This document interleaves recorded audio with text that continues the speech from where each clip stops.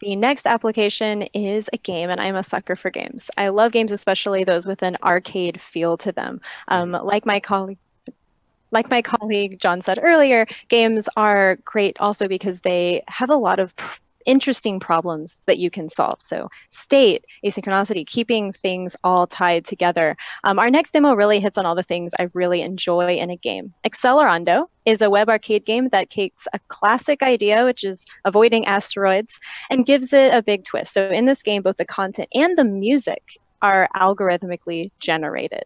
So use the mm. developer to tell you how it was done. Hi everyone, I'm Emily Gordon and I present to you Accelerando, a web arcade game with algorithmically generated music that accompanies the player through a procedurally generated asteroid field. It has an online real-time multiplayer mode, uh, currently in private playtesting using the power of Socket.io, and let's take a look at the single-player experience. Player starts at the edge of the asteroid field, uh, giving them time to acclimate to the controls, not have to start dodging immediately, and at first the asteroids come in slow and sparse. And you can see the beats per minute counter in the corner speeding up, and uh, the player's score increases faster as the music speeds up.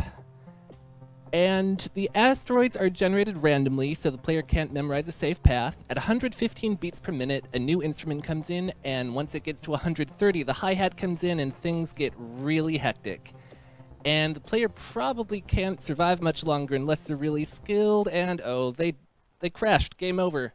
But their valiant flight will not be lost to history because their score will be stored in a persistent responsive database.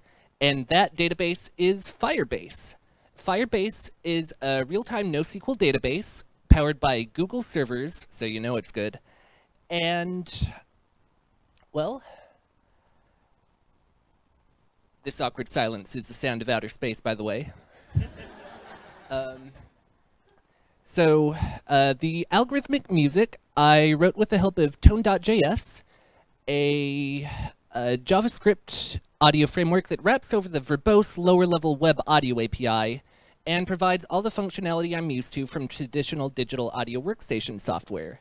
The gameplay logic I wrote with the help of Phaser, a JavaScript game framework, that solves many of the lower level problems of video game development. It solves the age-old problem of collision checking, provides methods for handling user uh, keyboard and mouse input, makes it easy to render images onto the HTML5 canvas and couple them to the game objects that they represent.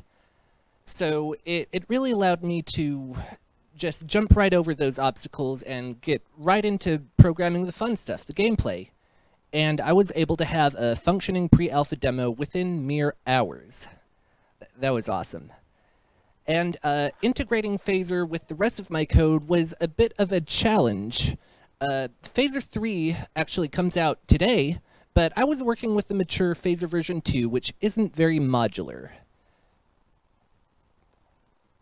I I had to uh, research the Phaser community for solutions, but with their help, I was able to split my Phaser code into small readable files, which I could bundle together with Webpack, and they could communicate with my my tone code for the the music. It could communicate with Firebase, and uh, it all came together. And you can play my game at a.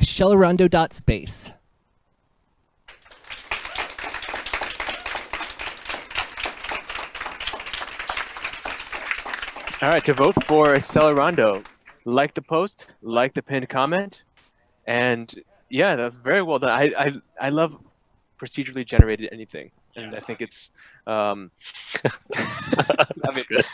Um, good to know because I I I'm like I always tell myself like I I feel like I can I can I can um every playthrough is unique. Yeah, every playthrough is unique, and I think also with music, it's like you can kind of sense the patterns in a very unique way. So I'm, I'm excited to try it, and I, I also love anything on the dot space domain TLD. So two things for me working. Yeah, and I like asteroids, and so that's three.